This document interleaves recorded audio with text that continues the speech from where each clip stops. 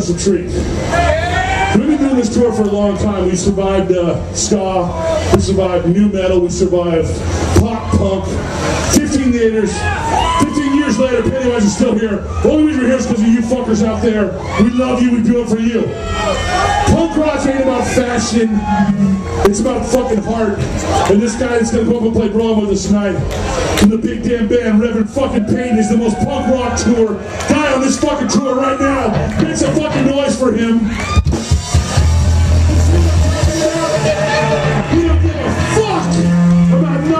Except playing that guitar and doing what he loves, which is what this song's about. Brotherhood and staying true to what you believe in. Song's called Bro Hymn, motherfuckers.